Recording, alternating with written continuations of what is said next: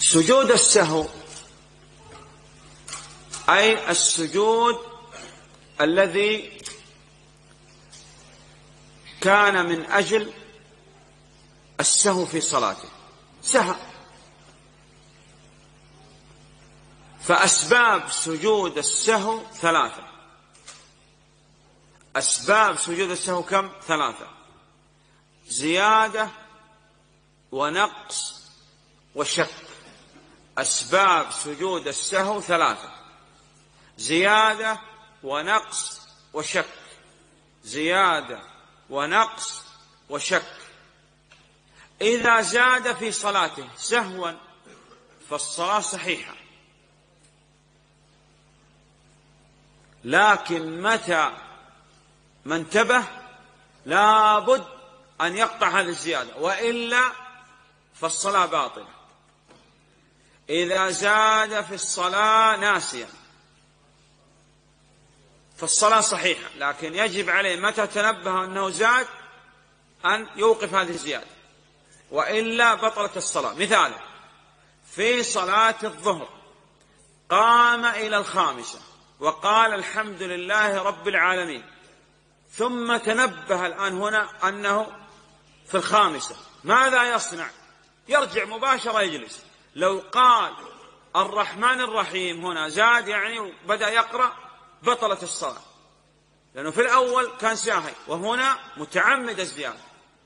يرجع مباشرة إلى التشهد. إن كان قد قرأ التشهد الحمد لله يسلم وإن لم يقرأ يتشهد ثم يسلم.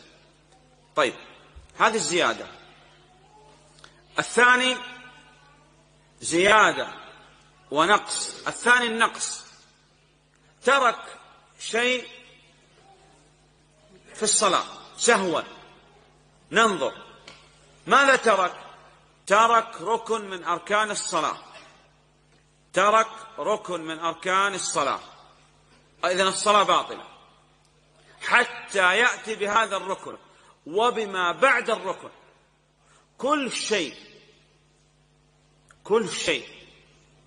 وقع منه بعد ترك الركن فقد وقع في غير موضعه. إذا لاغي مثاله. هذا الأخ يصلي صلاة الظهر. في الركعة الثالثة في الركعة الثالثة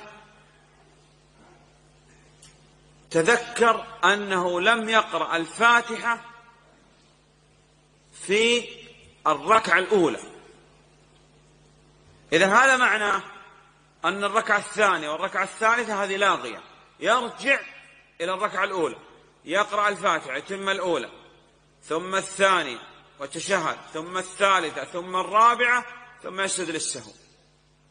كل شيء بعد ترك الركن لاغي يرجع إلى الركن ويأتي به. وبما بعده. هذا في ترك الركن. الثاني ترك الواجب. التشهد الأول مثلا. قام ولم يتشهد التشهد الأول. وتذكر بعد أن قام. ماذا يصنع؟ ننظر. متعمد الصلاة باطلة. ناسي فالصلاة صحيحة. ترك ترك واجب من واجبات الصلاة فالصلاة صحيحة ولا يرجع يجلس يكمل الصلاة ويسجد للسهو. هذا ترك لماذا؟ للواجبات. أما ترك السنة لا يبطل الصلاة لكن ينقص من أجر الصلاة. إذا زيادة ونقص.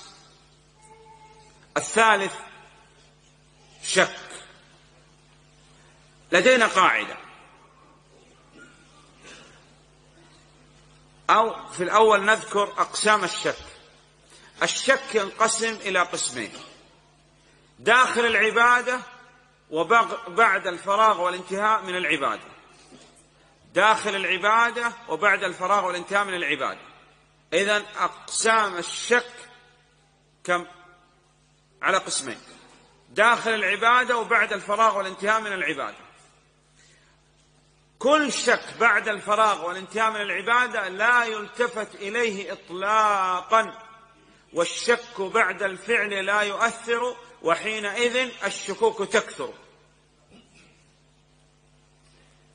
الشك بعد الفراغ والانتهاء من العبادة لا يلتفت إليه إطلاقا ولو كان الشك تسعة وتسعين وتسعة بالمئة. مثاله هذا الأخ الآن صلى ركعتين سنة المغرب. والآن قال أشك في الركعة الثانية هل قرأت الفاتحة أم لا؟ انتهت الصلاة؟ انتهت الصلاة. وهذا شك شك قوي. نقول لا تلتفت إليه. لو رجع وصلى فهو آثم. كبر تكبيرة الإحرام ثم شك في وضوئه. لو خرج لهذا الشك فهو آثم توضأ ودخل المسجد ثم أخذ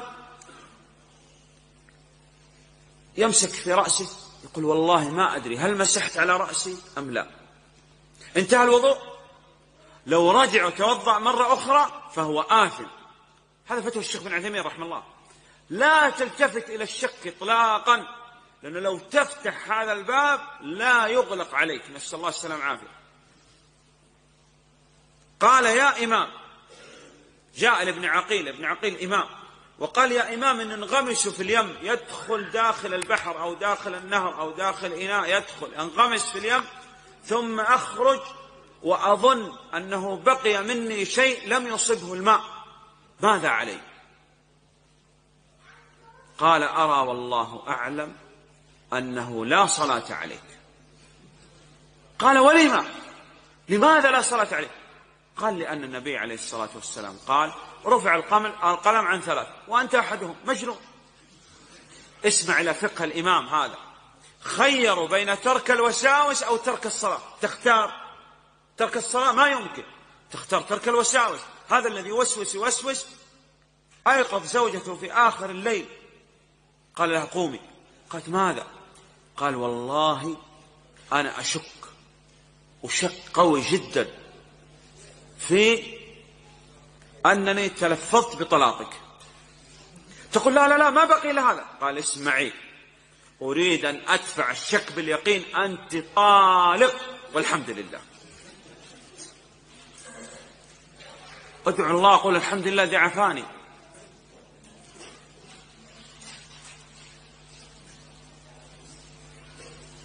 إذا جاءت الشريعة القطع الوساوس الشكوك.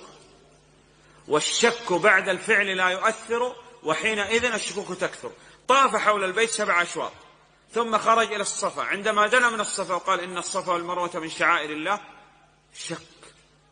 هل طاف سبع أشواط أو ستة أو خمسة؟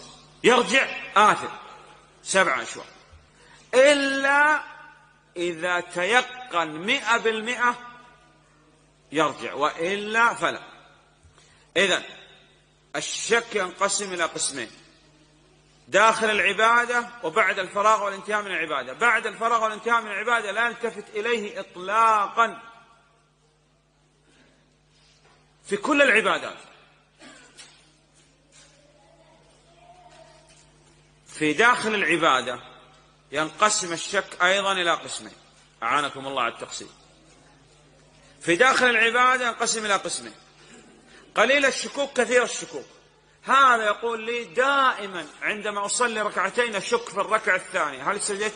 سجدة أو سجدتين. دائما أسجد للسهو دائما. قاعدة مضطردة عندي. نقول أنت كثير الشكوك. ما تسجد للسهو. تعتبر دائما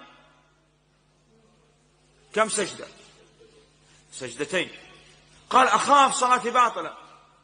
نقول له لو فعلت شيء فأنت آثم. اترك الوساوس كلها والحمد لله رب العالمين. قليل الشكوك. هذا القسم الثاني. ماذا يصنع؟ يبني على ما ترجح لديه. شك في صلاة الظهر. هل صلى ثلاث ركعات أو أربع ركعات؟ يغلب على الظن قال أنها أربع إذا يجعلها أربع ويسجد للسهو. يغلب على الظن على أنها ثلاثة يجعلها ثلاثة ويسجد للسهو.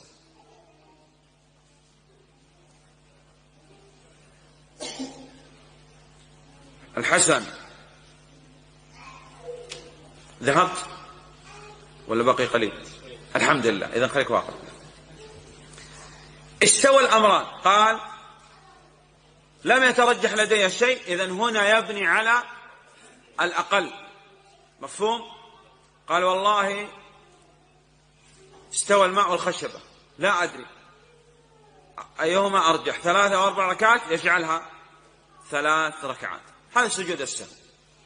إذا أسباب سجود السهو ثلاثة زيادة ونقص وشك. الزيادة سهوا لا تبطل الصلاة لكن متى تيقن أنه قد زاد؟ يرجع. ويقطع الزيادة. النقص للأركان فالصلاة باطلة حتى يأتي بالركن وبما بعد الركن. الشك ينقسم إلى قسمين. خارج العبادة لا يلتفت إليه إطلاقا أي بعد الفراغ والانتهاء من العبادة. وداخل العبادة ينقسم إلى قسمين. قليل الشكوك يبني على ما ترجح لديه. وإن لم يترجح لديه شيء يبني على الأقل. كثير الشكوك لا يلتفت إليه. مفهوم؟ اجلس. سجود السهو. أقسام السجود ثلاثة. سجود السهو وسجود التلاوة وسجود الشكر. سجود التلاوة مر بآية فيها سجدة. يسجد. يكبر لا. يسلم بعد السجدة؟ لا. إذا سجد الإمام نسجد ولا بد. الآن نستمع مثلا إلى الشيخ وهو يقرأ. هنا في هذا المجلس في خارج الصلاة وقرأ آية فيها سجدة. وسجد نسجد. مفهوم؟ طيب. ماذا يقول في سجود التلاوة في سجود الشكر في سجود السهو؟ وجوبا لابد أن يقول مرة واحدة سبحان ربي الأعلى. طيب هذا ما يتعلق بسجود التلاوة. سجود الشكر يسجد لله شكرا. إذا تجددت له نعمة أو اندفعت عنه نقمة. تجددت. نعم. النعم لا تعد ولا تحصى لكن إذا تجددت له نعمة. يعني استيقظ وقام وصلى الفجر يسجد للسهو لا. هذه نعم تتكرر دائما. لكن الصديق رضي الله عنه عندما جاءه الخبر بقتل مسيلمة سجد لله شكرا. نعم. إذا تجددت له نعمة أو اندفعت عنه نقمة سجد سجدة الشكر لله سبحانه وتعالى. مفهوم؟ نعم. طيب. من يذكر لي الحركات في الصلاة؟ أخذنا في الدروس المهمة أن الحركات في الصلاة خمسة. تندرج تحت الأحكام التكليفية الخمسة. حركة محرمة وحركة مكروهة وحركة مباحة وحركة مستحبة وحركة واجبة. حركة محرمة ومكروهة ومباحة ومستحبة وواجبة. الحركة المحرمة الأكل والشرب والضحك والحركة الكثيرة المتوالية عرفا لغير حاجة. حركة كثيرة جدا متتابعة لغير حاجة. وهو يصلي يخرج الجوال من جيبه ثم ينظر ويقرأ الرسائل تنظر إليه كأنه غير مصلي أصلا. حتى البعض هدانا الله إياه. يعني يدق الجوال يخرج الجوال. الله أكبر. الله أخواننا إلى هذه الدرجة يعني. مهم جدا الاتصال لديه. حركة كثيرة متوالية عرفا لغير حاجة. الالتفات الكثير عن القبلة. يعني اتجه للقبلة الآن. هذه قبلة المسجد. فماذا يصنع؟ اتجه لذاك الاتجاه هناك. هكذا. التفات الكثير عن القبلة. التفات يسير مكروه. التفات كثير محرم. رافع. البصر إلى السماء محرم. حركة محرمة. هذه الحركات المحرمة الأكل يضع سندويشت في يده اليمنى والعصير في يده اليسرى ويأكل ويشرب.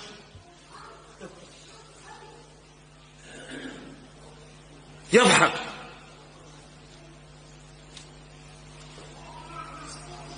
حركة كثيرة متوالية عرفة لغير حاجة. التفات الكثير عن القبلة. كله حركات محرمة. نعم. الكلام العمد مع العلم والذكر يتكلم في الصلاة. متعمد. ذاكر لا ناسي. عالما بأن الكلام في الصلاة مبطل للصلاة. مثل هذا الآن. يا أخي أنا في الصلاة. تصل بعد خمس دقائق. هذا صلاته باطل. صحيح أم لا؟ باطل. كلام وعمد وعلم وذكر. خرج بهذا ما لو تكلم ناسيا. أو جاهل. تحريم الكلام في الصلاة كما تكلم معاذ بن الحكم السلمي رضي الله عنه. صحيح. أو تكلم لمصلحة الصلاة. أخطأ الشيخ فيقول له سبحان الله. يريد أن يسجد.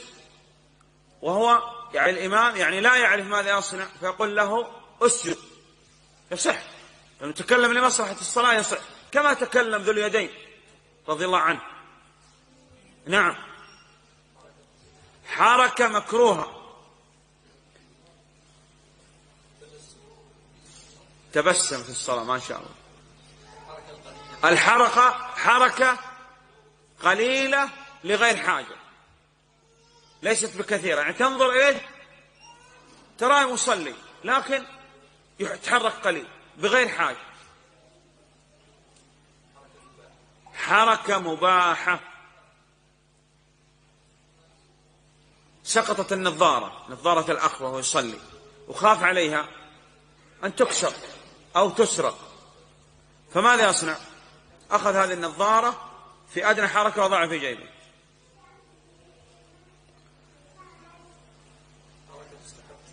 حركة مستحبة. الحركة المستحبة هي الحركة التي يتوقف عليها كمال الصلاة. سد الفرج مثلا.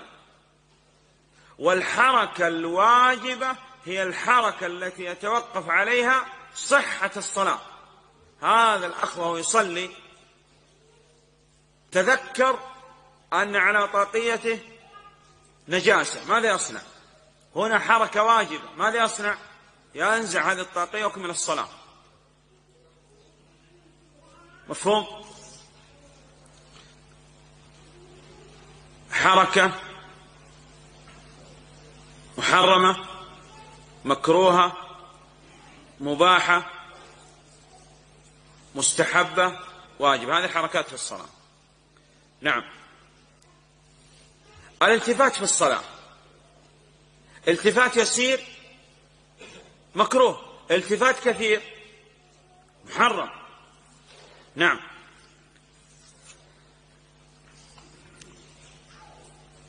تشبيك الأصابع. فرقعتها. نعم. يضع اليد على الخاصرة. أو هكذا. نعم. طيب. يجلس ويفرش ذراعيه على الأرض وهو ساجد.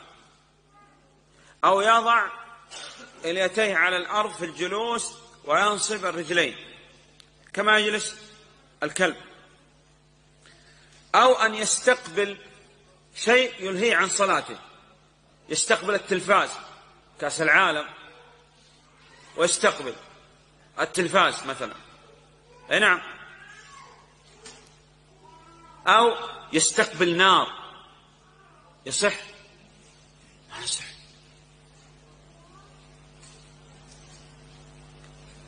يصلي في مكان يكون يعني فيه أناس يمشون مثلا أو سيارات يلهيه هذا.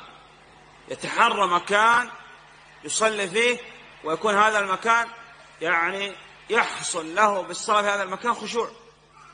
طيب. أو يدافع الأخبثين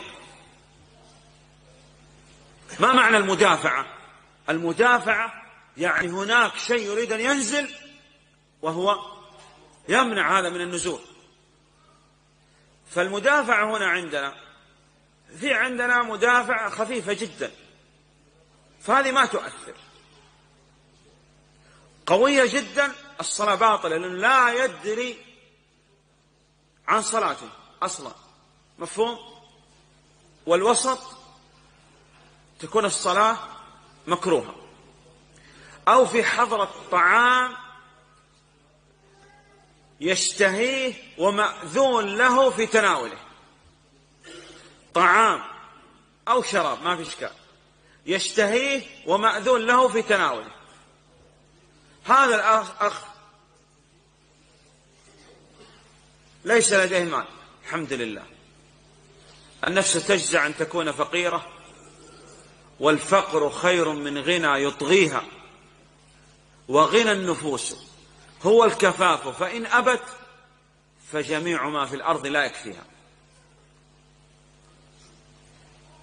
شيخ الإسلام رحمه الله يرى أنه لا يدعو بماذا؟ بالفقر. يقول لا ما يصح. الدعاء أن تدعو اللهم احني مسكينا وامتني مسكينا. يقول هذا الحديث لا يصح. وإن صح يكون معنى الحديث متواضع. بماذا يدعو؟ بالغنى الفاحش؟ لا كفاف. مفهوم؟ وغنى النفوس هو الكفاف فإن أبت فجميع ما في الأرض لا يكفيها. فقير ليس لديه مال والحمد لله. وبجانبه مطعم وفيه ما لذ وطاب. يا أخي قم صلي. قال والله طعام واشتهيه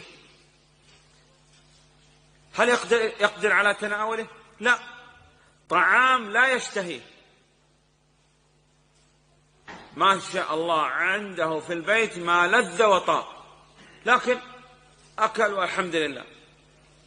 أو الزوجة تصنع في الطعام في نهار رمضان. وأراد أن يصلي العصر.